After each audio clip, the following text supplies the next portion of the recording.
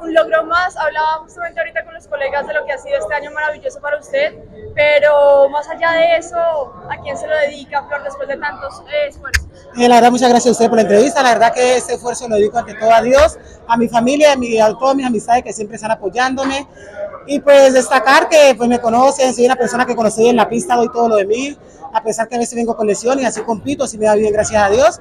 Y pues la verdad, ahora prepararme. Para mí esto no es que ser conformista, seguir superándome, porque yo sé que viene un gran reto para mí que es París. Y la verdad, sueño ser campeona olímpica. Felicidades, mi amor. Habla usted de los problemas que ha tenido físicamente. Cuéntanos un poquito de lo que está pasando ahorita. No, la verdad, este año ha sido de mucha victoria, pero también de muchas lesiones.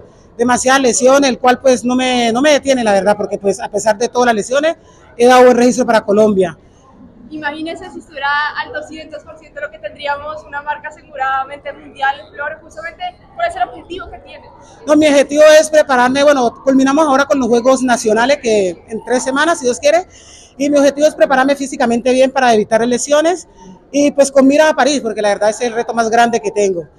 A ustedes las rivales ya la conocen, cada vez que sale a la pista ya saben lo que es usted y con el primero ya las dejó ahí prácticamente noqueadas.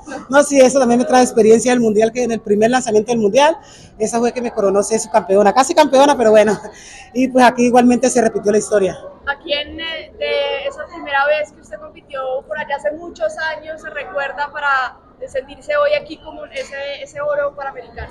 No, la verdad, desde mi primer inicio del lanzamiento de Jalina, la verdad que demostré mucho que soy capaz y de lo que me propongo lo logro. Y soy una berraca, porque lo digo porque me lo dicen todo el mundo, soy una berraca. Y cuando estoy en la pista entrego todo de mí. No hay excusa, no importa que esté lastimada, entrego todo de mí. Flor, le faltaba este, este ciclo olímpico. No, la verdad que este Panamericano es algo que nunca he olvidado, porque siempre soñaba ser campeona panamericana. Soy campeona suramericana, centroamericana, bolivariana, de todo menos panamericano. Ahora ya falta ser olímpica para ya cerrar todo con medalla. Ya sabe que la niña espera allá la medalla. No, claro, mi niña ayer. Sí, ayer, ayer me dijo, mami, ¿sé cuándo compite? Le dije, no, mañana. Mami, vamos, pues tú puedes. Yo sé que tú vas a ganar la medalla. O sea, que ella estaba emocionada. Y me lo declaró, me dijo, yo sé que tú vas a ganar la medalla porque tú eres muy fuerte. Eh, pues la verdad que. No, no he hablado. Más rato, si Dios quiere. Ok, gracias, gracias.